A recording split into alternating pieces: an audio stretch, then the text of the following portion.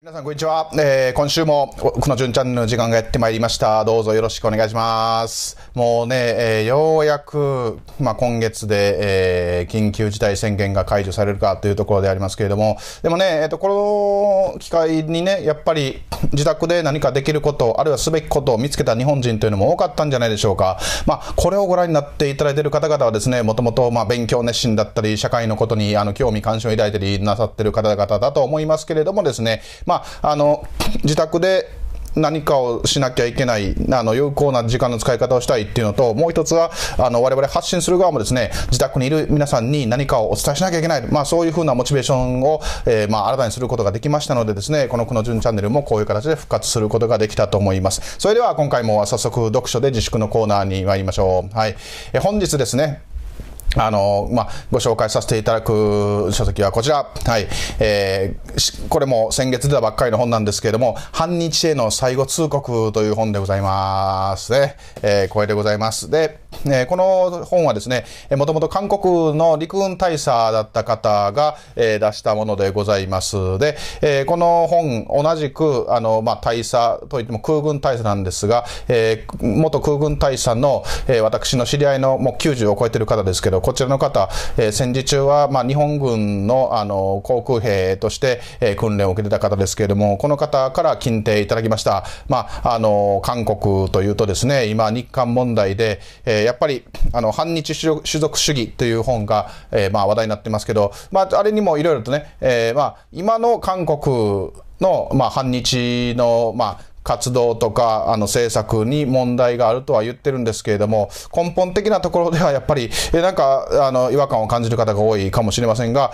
えまあ、こちらの方はですね、結構、今、日本で、こう、韓国の問題、日韓関係の、まあ、歴史問題を、えー、興味関心持ってる方は、すっと腑に落ちるところがあるのではないでしょうか。えー、帯の言葉はどういうふうに書いてあるかというとですね、まあ、まず、韓国で反日主義について出版された衝撃の書と書いてあるわけですけれどれども、えー、左派勢力による100件を超える訴訟をはじめ、えー、賠償請求、暴力、投獄など、度重なる弾圧にも屈しない元韓国陸軍大佐、システム工学博士にして、有国の、えー、市反響の先方、えーこれが、あの、池万元と書いて、えー、かハングルの、ハングルと言いますか、向こうの読み方では、チーマンウォンと読むわけですけれども、チーマンウォン、まあ、元陸軍大佐がですね、綴る最後の挑戦状、まあ、そういうふうに書いてあるわけでございます。えー、挑戦状っていうのを私がね、小学生の時に、たけしの挑戦状っていう、どうやってもクリアできないゲームがありましたけれども、えー、まあ、そういう、この方はこれまでも戦ってこられたんですが、えー、まあ、簡単に、あのー、え、プロフィールを確認しておきますと、えー、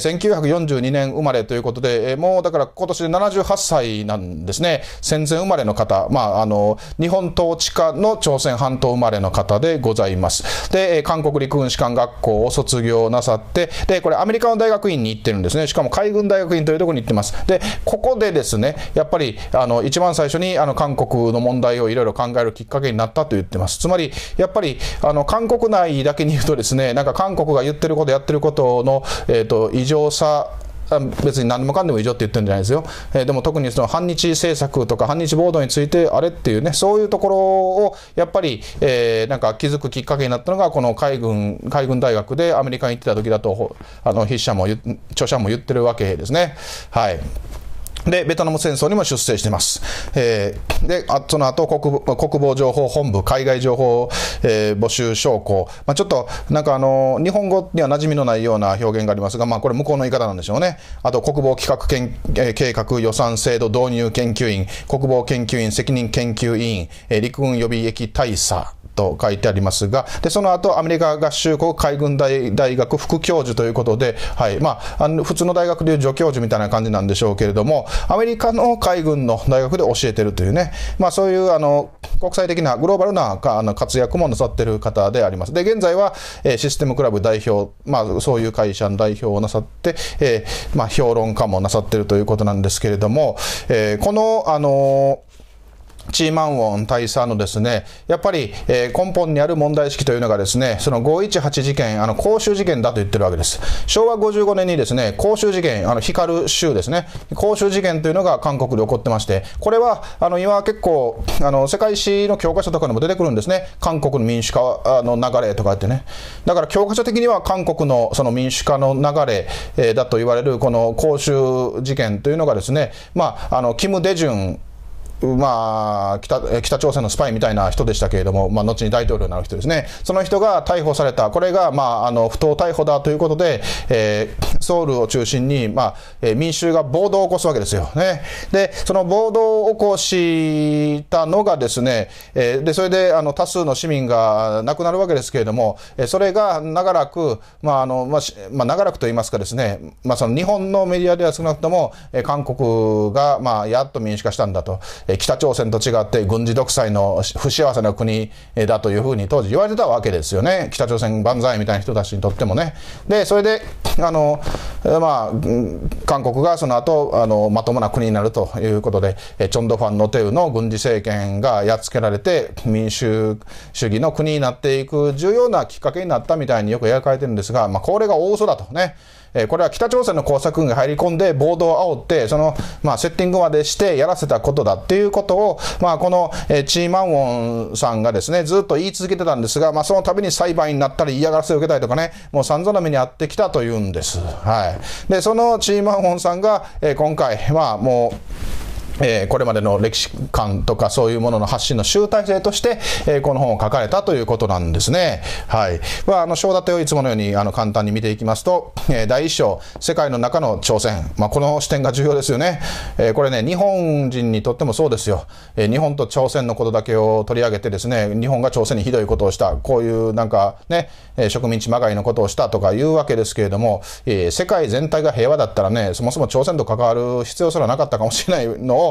いやいや、なんで、あの、日本と朝鮮半島が関わらなきゃいけなかったか、あるいは関わる際にですね、朝鮮に余計なおせっかいをしなきゃいけなかったか、そういうことを考えることなしに歴史というのは分かりっこないわけです。で、その時にやっぱり日本が朝鮮半島とどう付き合ってたかというだけじゃなくて、えー、そういう中で、そのもっと第三者の外国人が、あの、朝鮮をどう見てたか、ね、えー、それが第2章でありますね。外国人と内国人が見た朝鮮。で、第3章、滅ばざるを得なかった朝鮮。まあ、刺激的な、あの、内容でありますが、第3章の、あの、最初の、えー、込み出しが、え、っとですね、この、滅ばざるを得なかった朝鮮の章ですね。その最初の込み出しが、はい、朝鮮のために戦った者はいなかったということなんです。だから、あの、他国に侵略されたり、あの、内乱でね、ボロボロになっていく朝鮮で、朝鮮のために行動した人がほとんどいなかったと、そういうことをあの、まあ、率直にズバッと言ってるわけですね。で、第4章、日本軍慰安婦と強制徴用。はい。まあ、強制徴用がね、まあ、これは、あの、まあ、徴用せずに済むんだったら、それに越したことはありませんが、えー、日本が、その国内に対して、その、やったように朝鮮半島に対してもやった。まあ、ある意味平等にやったというのが、まあ、責められているという現実があるわけです。で、第5章、日本との決算。で、第6章、日本は学ぶことの多い国。はい。えー、これは私も翻訳版ではありますが、えー、韓国の教科書をですね、えー、見てみるとですね、まあ、結局、あの、韓国といいますか、古代から朝鮮は日本にこういうことを教えてあげた。こんなことを伝えてあげたとか、そういちいち、その、これは、あの、ハングルの分かる友人にも聞いたんですが、何々してあげたってわざわざ本当に教科書に書いてあるぐらいですから、まあ、俺が兄貴分だというね、えー、ある意味での教示を捨てきれずにいるのかもしれませんけれども、まあ、そういうのが果たして実用としてどうだったのかということも、まあ、あの、韓国人にも考えてほしいですし、日本側も考えなきゃいけないわけですね。で、第7章、韓国を牛耳る左翼勢力の戦王的な歴史歪曲。これが重大で、韓国という国、韓国人すべてがもう、あの、全く狂い切っちゃって救いようがないとは、当然、筆者、韓国、あの、韓国人の筆者は考えないわけです。こういうふうに韓国がなってしまったのは、まあ、韓国人が、なんか反日というと、わーっと盛り上がっちゃうという民族性もさることながら、やっぱり北の工作、ね、あるいは左翼勢力のそういう工作があったんだということ、これを分かってほしいというわけですよ。だから、あの、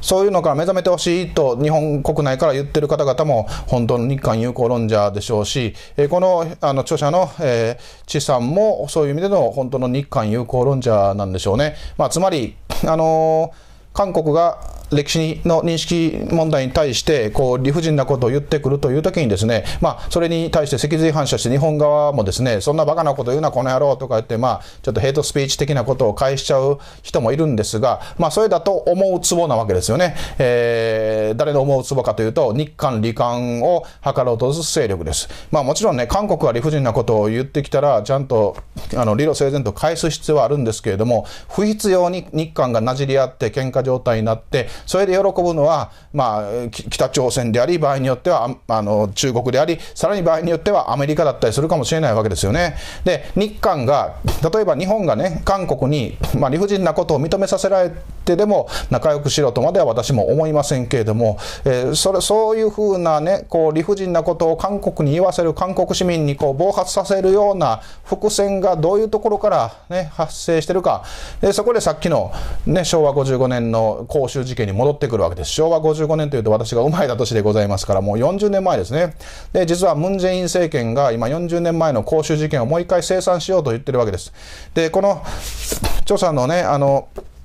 チー・マンウォンさんもですね、えー、その公衆事件が結局、あの、北朝鮮の工作だったとね、純粋な民主主義運動じゃなかったということで、こう、あの、著作を最初に書いたのが、まあね、あの、結局裁判になるわけですが、8年前に判決が出て、まあ、この本で、まあまあ、この、この、この、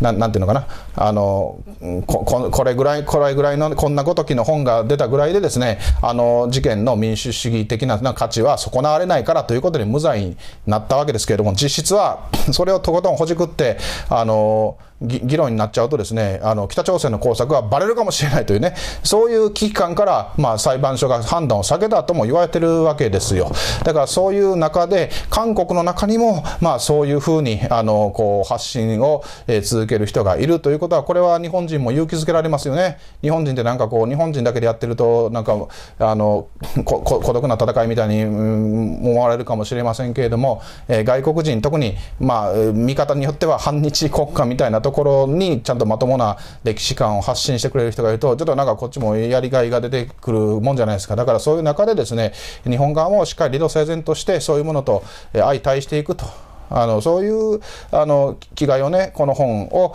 まあ、読んで、ぜひ持っていただければというふうに思っております。おすすめです。はい。えー、ぜひ皆さんも一度読んでみてください。ちょっと、えっ、ー、とね、文字が小さくて、なんか文章が、あの、見た目より長いので、まあ、あの、ちょっと情報量が多くて大変だという人もいますけれどもですね、あの、やっぱり本を、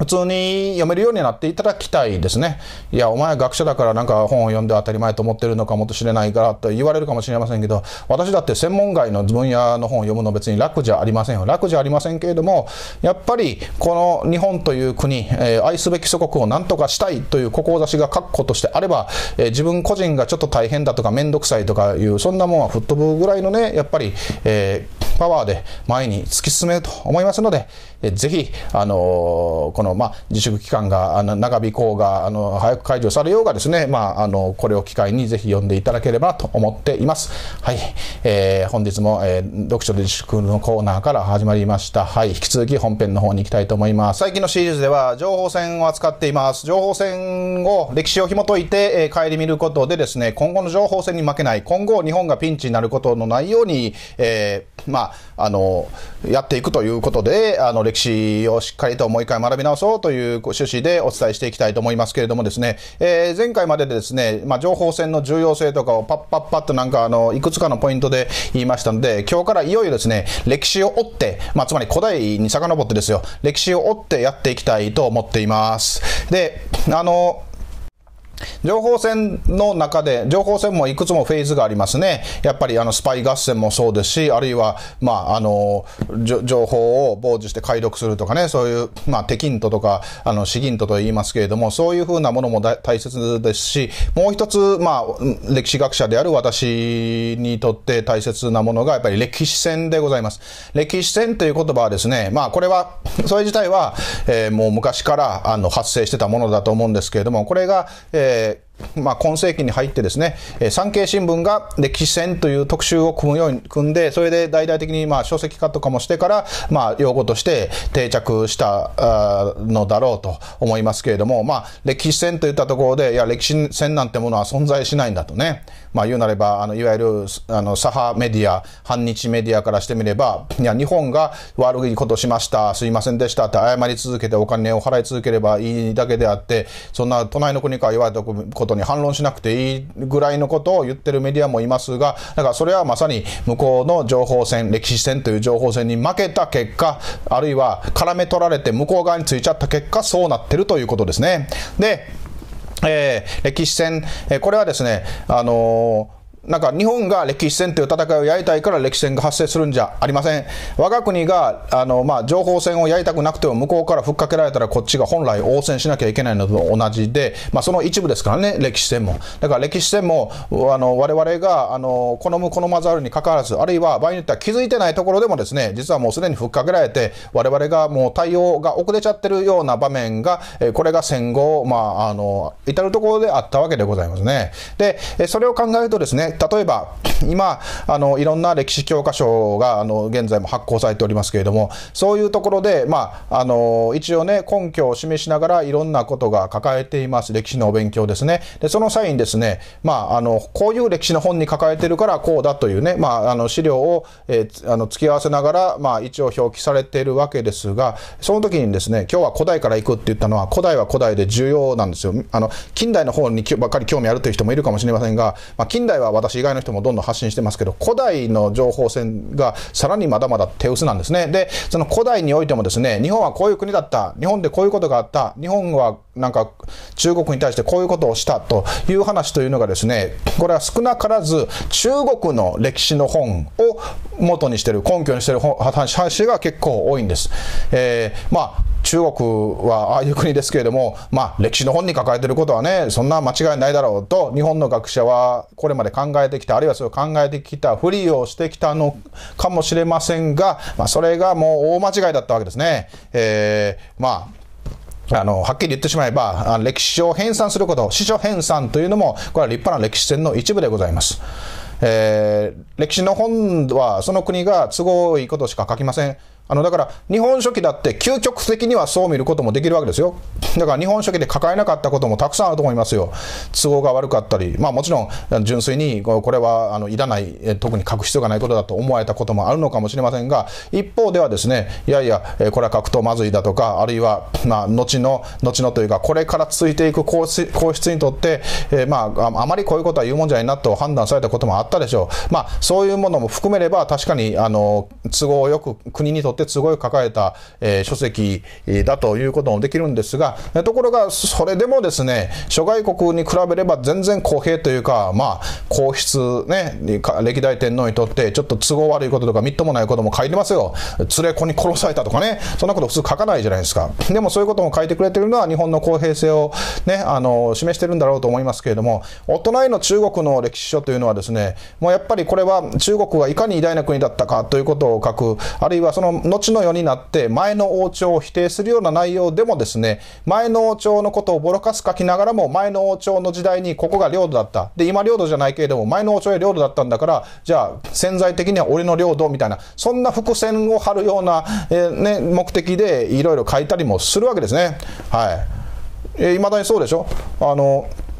尖閣では飽き足らず、琉球が自分の領土だと言ってるわけじゃないですか。あれだって、もう500年前とかに琉球が、あの、中国の王朝に徴工してきた。これ、徴工していたね、過去形。これを根拠にして、今でも自分の、まあ、潜在的には自分、自国の領土だと中国側は主張してるわけですね。はい。あの別れた元カノも全部今の彼女と同様だと、まあまあそ、だから個人個人間関係でそんなこと言ってる人がいたら、この人大丈夫かなって思うわけでございますが、まあ、中国は大真面目なんですね。まあ、これはその中華思想のなんかこう、あの、ミニバージョンである、まあ、お隣のね、朝鮮半島の国とかも似たような歴史観を持ってるかもしれません。まあ、いずれにせよ、歴史を編纂しているということも、これはもう、あるいはその内容についても、これは歴史戦の一部なんだというふうに我々は認識しなきゃいけないわけでございます。で、その中で、やっぱり中国の発想として、この海秩序というのがあるわけですね。海秩序。はい。えー、中国という世界の中心の国が、か、ね、あの、花形の国であって、で、その周りは、い、ね、恵比寿ですよ。はい。つまり、まあ、あのー、野蛮な存在。えー、中華帝国に、えー、貢ぎ物をしてひれ伏すべき存在。で、さらには、あの、中国自体がですね、これこれも潜在的な、世界全体が自分の本来は国の領土、あるいは自分が領土として広げるべき地域だと思っているわけですから、その下での、まあ、秩序というのが、え彼らの世界観の中にはある。えこれは、例えば、1648年のウェストファリア条約に象徴される西洋型のですね、主権国家体制、まあ、実際にはちょっといろいろありますけれども、ただ、あの、建前としては、え主権平等、国際社会の国家というのは全て平等だと、主権があるんだと、そういう考え方と真っ向から対立する概念なんですが、まあ、未だに中国はそれでこう突っ張って、えー、国際社会でやってってるわけですよね。まあ、そそれを、あの、なんかこう、ご利用するだけのパワーがあるということでもあるんですが、で、そこで結局歴史的な話も絡んでくるわけですね。だから、それでおかしなことをもし言われたり、突きつけられたりしたんだったら、我々も、あの、ちゃんと、あの、理性的に反論していく必要があるわけですが、えー、これまでは十分な反論があったとは言えません。さっき言いましたように近代においては、えー、近代においての問題がね、あの、これまではメインだったと言いましたが、南京大虐殺、従軍慰安婦強制連行、そういう問題も大問題です。しかし、えー、古代からの問題、これもやっぱり目を向けていかないといけないだろうということで、まあ、あの時代を追って、えー、これからしばらくの間、えー、シリーズとして皆さんにお伝えしていきたい、あるいは問題意識を共有していきたいと思っております。はい。で、この中華思想に基づく海秩序というのがですね、えー、まあ、最初にどういう展開があったかというと、これは中国という国を、まあ、昔の伝説、伝説上のね、なんかこう歴史として確認できないところを除くと、初めて今でいう中国大陸の大部分を、えー、統一して支配したと言われるのが、秦という国ですね。旗と書いて秦。で、その、えー、秦の始皇帝というのが中国で初めて、えーたくさんの王様、たくさんの国を束ねて、そのさらに上に立つ皇帝となった。ね。初めての皇帝だから、あの、始皇帝と通称されるわけですが、えこの始皇帝が、あの、まあ、あの中華体制の生みの親とも言われているわけですね。で、その秦を滅ぼして、まあ、あの、皇と劉邦でいう劉邦にも打ち勝って、えー、次の国を建てたのが、まあ、劉邦だったわけですが、劉邦は漢という、えー、国を建てて、まあ、漢の皇祖になるわけですね。皇祖というのは、まあ、あの、建国者ぐらいの意味ですけれども、で、えー、この漢の時代に、この作法体制がいよいよ完成を見ていくわけです。だから、こう、あの、周りの朝鮮とかベトナムとかの国にですね、徴工をさせて、で、こっちは、まあ、あの、まあ、徴工させるといってもですね、徴工させた側にだけメリットがあるわけでもなくて、えー、まあ、中国の皇帝がお前を朝鮮王に任命してやる。お前をベトナム、まあ、当時安南とかね、なんか大越とか言ってましたけど、そういうふうな国の王に、えー、任命してやると。で、えー、それで、えー、お前は、俺は中国の家来だぞって、中国がバックについてるんだぞっていう、なんか、犯行をね、使って、他の国にあちこちに手紙を送っていいぞ、俺がバックについてやってるぞという、まあ、そういう犯行まであげるわけですよね。はい。で、えー、そのもらった側は、えー、中国の言語を使う。だからカレンダーを中国に合わすわけですよね。だからあの言語なななんちゃら帝何年ってね、皇帝の名前で言語になったりするわけですが、それを中国に合わせなきゃいけなかったりするわけで、で、あとはさっき言った貢ぎ物を持っていくわけですが、ただ中国が羽振りがいい頃はですね、貢ぎ物を持っていって、なんか、あの、没収されるだけ、あの、スーパーひとしく没収でされるだけじゃなくて、えー、貢ぎ物に対して、中国はですね、返礼品といって、その何倍、何十倍ものね、あの、まあ、羽振りのいい中国はばばど、どばっとこう、えー、いいものをくれるわけですよ。で、えー、朝鮮の王朝によってはですね、それを目当てにもう毎、毎年のようになんかこう、あの、貢ぎ物を持ってって、そのお返しの品の方を目当てになんか言ってたようなね、時もあったわけですけれども、はい。だからそういうふうな、関係で、まあ、あの、国のプライドとかをちょっと度外視すれば、ウィンウィンの関係と、今見えなくもないところもあったわけでございますね。だからこそ、えー、朝鮮やベトナムとかがそういうふうな、あの、関係を結んだしもしてたわけでございます。で、えー、その中でですね、日本が、はい、あの、そう、そういう関係に当然ね、あの、中国側はなんかやっぱり地理的に近いから組み込もうとするわけですね。朝鮮半島のさらに向こう側にあるあの日本列島、まあ中国から見たら和の国もですね、うちの家来だ、あの、わしがお前を和の王と認めてやろうみたいな存在として扱おうとすることもあししてたわけですけれども、まあそういうのに絡む資料が、えまずは中国側の文字資料で出てくるわけです。まあ日本側はですね、古事記日本書紀ができるまでは確固とした統一された文字の体系がなかったもんですから文字資料というのが限られてるわけですけれども中国側は早くからねそれこと司馬遷が四季を書いた頃からですね、えー、そういうふうにしあの歴史の本を文字で残していくというのがあの、まあ、定着してたわけです。まあ、ちょ、ちょっと脱線しますとですね、まあ、脱線ではないんですけれども、あの、し、芝線ね、芝線が四季というのを書いたきっかけっていうのは皆さんご存知でしょうか。まあ、あの、中学高校で漢文みたいなね、授業がありますから、そういう中で、たまに四季からの引用のくだりがね、あの、テキストとして出てきたこともあるかもしれませんが、えー、四季という人はですね、まあ、あの、中国の王朝に仕えてたわけでございますけれども、その中でですね、えーえ、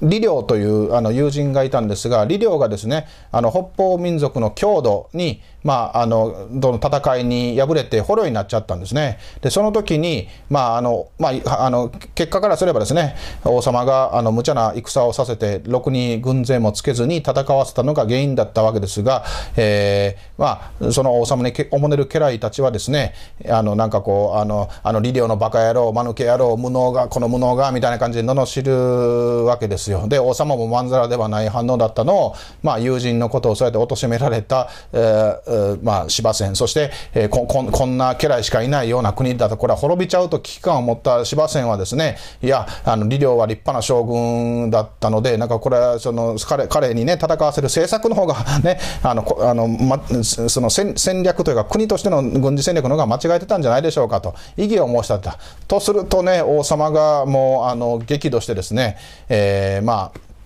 芝線を、まあ、不敬、休憩といって、えー、まあ、あの、女性の視聴者の方はすいません、あの、まあ、いわゆる抗がんを切除するというね、まあ、大変悲惨な、あの、刑罰を課したわけです。で、まあ、そ、そんな目に遭っちゃったもんですから、もう芝線というのはね、もう男性としての、えー、一生はもう終わっちゃったみたいな、ね、もう本当に暗淡たる、あの、余生を過ごすことになりそうだったんですが、実は、えー、その芝線と志、思いを同じくする皇太子がいましてですね、で、その皇太子、まあ、太子丹がですね、あの、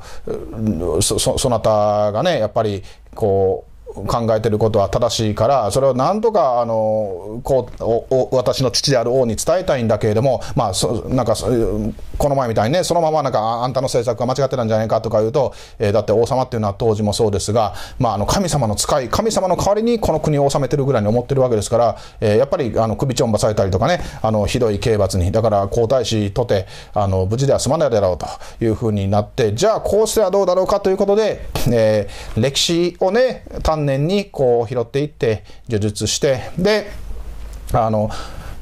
王様、今からあなたこういう政策やろうとしますけれども、昔の立派な王様はそういうことはしなかったようですよ。あるいは昔の立派な王様だったらこういうふうにしたらしいですよ。こういうふうに歴史をネタにして、えー、まあ、ね、王様に助言すると。そういうふうにしたらどうだろうかと。ね、そう、そういう話になったわけですよ。で、それで、えー、編み出されたのが芝仙の四季というね、えー、歴史書なわけですよね。まあ、あの、まあ、今ちょっとずいぶん、これもずいぶんはしょりましたけれども、だから、まあ、この政治的な産物でもあったということをやっぱり我々は知るべきなんですね、中国の司書というのが。もちろん中国にも優れた歴史家がたくさんいます。で、優れた、まあ、あの、ライターというか書き手もたくさんいますよ。だからそういう意味で、えー、ていうのかな、読み物として優れたものはね、歴史ものとしては、例えば三国史とかね、はい。まあ、あの我々が知ってる三国志というのは、いわゆる三国志演義の方なんですけれども、まあ、元のあの三国志の元になった三国というのを書いた、まあ、陳樹という方が書いたやつは、まあ、あれも多分にあの政治的なものだから、後でちょっと指摘するような問題点があるわけでございますけれども、えーまあ、そういう読み物として大変優れたものもあるし、純粋に歴史家として優れた方もあるんですいるんですが、えー、ただ今、その中国の共産党政府なり何なりがこうなんかこう歴史戦使使う際にやっぱりいろんな政治的なあのこう思惑を帯びてそういうものがあの掘り起こされて使われてるというのも我々は心しておかなければならないということですね。これはあのなんか歴史文学を文学として楽しむ話とまた別次元の話なわけでございます。はい、でまあまあその話もさてさることながら、えー、例えば一番最初に日本が、えー、日本らしき国が中国の書物に現れるのは、あの、こちら、えー、漢女地理史という、あの、ものに現れるんですね。だから漢女、中国の漢王朝の歴史書、えー、で、えー、まあ、そこでですね、その、周りにこういう国があるよとか、そういうことを書いてるコーナーがあるわけですよ。えー、そこにね、えー、まあ、有名な文章で、教科書で読んだ方がいらっしゃるかもしれませんけれども、まあ、あの、それ落老海中に和人あり、分かれて百予告となるね、祭事を持ってきたり、ケンケンスという、何の何のことかというと、落老海中っていうのは、朝鮮半島に落老軍という、えーと、軍を置いてましたので、で、えー、その朝鮮半島の先に、えー、まあ、和人がいると、和人の国があると。で、その和人の国は統一されておらずに、まあ、100以上の国に分かれていて、で、あの、その国の中に、こう、おそらくは中国にやってきて、なんか挨拶にやってくるやつがいるんだと、そういうふうに書いてるわけですね。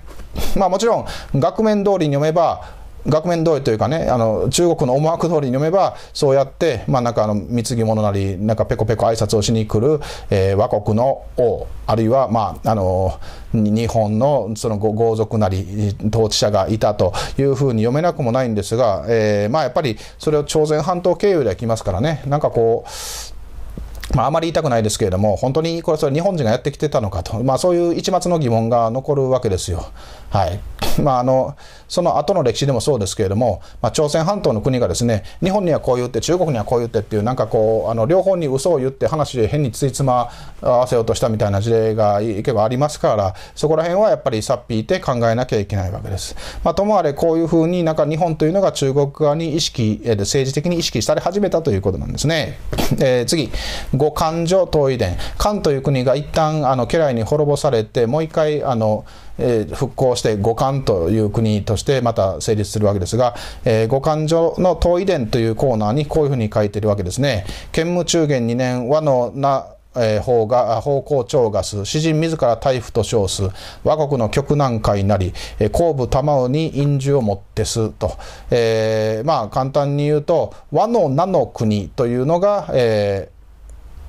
ー、あった。和の名の国、つまり和の国の中に、日本列島の中に那という国があった、那国があったと。で、そこからね、なんかこう挨拶にやってきて貢ぎ物をしたと言ってるんですよ。はい。で、えー、使いの者は大夫、まあ今でいう大臣クラスのなんかね、えー、人間だと言ってきた。まあそこから外務大臣的な人が来たぐらいな感じでしょうか。で、その名の国、日本にあったらしき名の国に対して、当時の、えー、五冠の皇帝だった皇武帝という皇帝がですね、印字を与えたと言ってるわけです。返事というのは、あの、印が犯行、十が組紐、紐ですから、まあ、紐付きの、えー、犯行を挙げた。だから、お前は、え、これ以降、もうえら立派な偉大なる中国皇帝の家来の王様であるというふうにね、え、胸を張っていいから、なんかこう、タコ君と手紙するときはこのハンコ使ったり、みたいなそ、そんな感じで挙げたということになってるわけですね。で、そのハンコじゃないかと言われてるのが、この、はい、えー、漢の和の名の国王院なわけですね。だから漢の和の名の国、つまり漢王朝の家来である、えー、和国の名国王が、まあ、和国というと語弊があるんでしょうけれども、日本列島における名国の王様の、えー、だというね、そういう、あの、お墨付き、まさにお墨付きをもらったハンコなわけです。で、これを、まあ、実際に使ったことがあるとすれば、はい、隣の豪族にね、俺のバッグには中国がついとんねんから、その缶がついてんねんから、ちょっともう俺に従えみたいな手紙にポンと反抗を押してたのかもしれませんよね。まあ、いずれにせよ、みっともない豪族がいたということですよ。隣の国、まあ、もちろん、日本と中国って今みたいなね、主権国家体制の下でのなんかこう、明確な国境があってたというは言い切れないんですが、しかし、あの、海を越えた向こうの王様の家を変えて、まあ、虎の胃を狩る狐みたいな感じでですね、他の国を恫喝したとか、もしそういうことがあったとすれば、まあ、まあ、とんでもないしょぼい王様ですよね。ただ、これを笑えないのが、同じようなことをしている今の日本の政治家がいたりするのかなというふうなあのところもあるわけですけれども、で、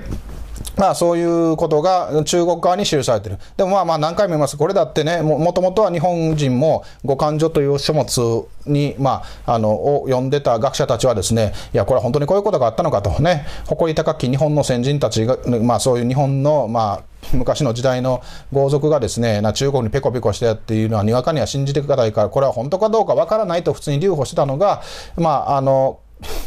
まあ、残念ながらといいますか、江戸時代に、えー、鹿の島というね、博多湾に浮かんで浮かんでる島、まあ、今ちょっと繋がってますけれども、えー、そこで、あのー、まあ、この金印が発見されちゃったわけですね。だからある意味発見されない方が良かったのかもしれませんが、まあ、発見されたら日本人は歴史には、あの、ね、あの、そういう意味では誠実ですから、いや、残念ながらね、なんか日本の中にいた王様で中国にペコペコして人がいちゃいましたみたいな、そんな感じで、まあ、あの、その後の歴史書にはね、一応記されもしたわけです。ただ、まあ、こういう残念な王様がいた、残念な豪族がいたって記すんだったらともかく、それをですね、なんか古代史の全てであるかのようにね、まあ、だから、あの、今の歴史の教科書だと、しょっぱに出てくるのがこの観音和の名の国なんですよ。あるいはその観音和の名の国王の、あの、犯行を発見した江戸時代のその現地の農民のジンベエさんの名前までね、なんか歴史の用語書に載ってますからね。これ、これはこれをは、これまあ、これが嬉しい発見だったともかく、こんなちょっとあんまり見つけなくてもよかったようなね、犯行の発見者のジンベエさんが人名辞典に載るっていうのはちょっとどうかと思いますけど、うーん、まあ、なんとも言いません。で、五感所東医伝にはその後ですね、あの、その後にもですね、えー、和国王水晶、水晶という名前のあの日本の王様が成功160人を検事政権を請うという、まあそういうあのくだりがあるわけですよ。どういうことかというと、まあ奴隷160人を献上して、えー、挨拶にやってきたと。まあここでね、で、またこれはね、えー、中国審判みたいな学者の方々はもう無批判に、あの、なんかこう信じちゃってですね、ほら、ほら、中国の文献にも書いてあるじゃないかと。当時から日本は奴隷制があったんだと。ね、日本は奴隷制の国だったんだ。だ。でそれで封建社会では農民とか貧しい人がひどい目に遭ってきた。それがやっと日本国憲法で奴隷制がいけないと書いたからやっと75年前にあの日本というのは解放されたんだ。戦後日本万歳、まあ、そんな思想につなげるような学者がもう後を絶たなかったわけですよね。はい。えー、まあ、ただ何回も言いますけどこれはあくまで中国側の方にしか書かれていません。日本側の司書には書かれてないことでございます。もちろんこんな恥ずかしい奴らがいたから書かなかったのかもしれませんし、まあ、そもそも中国側がなんかこう別の国からやってきたのを日本人だと思い込んだという可能性もこれ排除できませんからね。だからそこを慎重になるのが歴史学ではないでしょうか。ね。中国の本にこう書いてあったかって言って直ちにもう全部真実であるかのようになんか恥ずかしでも恥ずかしげもなく書くというのが歴史学だった時代が戦後長かったわけでございます。えー、ちなみに、ちなみにね、その同じ頃、1世紀から2世紀にかけて、えー中国側のね、あの、歴史書によればと言いますか、中国側の言い分ではですね、ローマ帝国も中国に徴工してた、中国の家来の国だったと主張してるわけですよ。その根拠はですね、はい、えー、まあ、あの、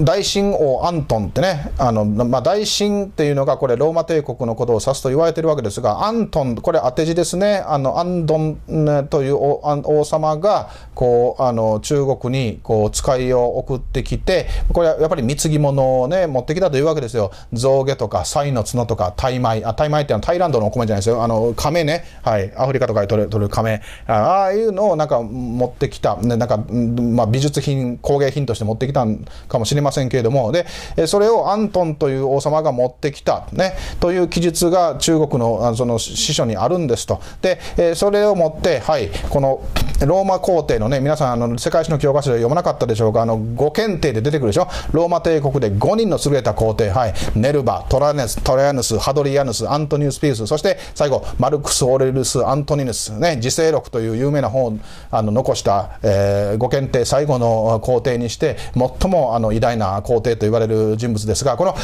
アントンというのがマルクス・オレルス・アントニヌスの皇統だと中国側はまあ主張しているわけで、日本の世界史の教科書にまでそんなこと書いてあるわけですね。当然イタリア側はですね、なんかローマ帝国は中国の家来だったなんて認めてないわけですけれどもですね、もう他国のことまでなんか中国の言いなりになって、日本はなんか世界史の教科書書いちゃうなんてことをやってるわけですよね。はい。で、まあ、こういう、ここ、ここまでで大体分かったと思いますが、皆さんが日本史の教科書で古代史のこの頃について習ったことというのは、全部中国の本が正しいことを書いてるという、まあ、もう、甚だ脆い前提の上に成り立った話なわけでございます。当然、戦前の教科書にはこんなことは書かれてません。えと言いますか、えっと、今のも、一番の問題はね、今の日本の教科書に、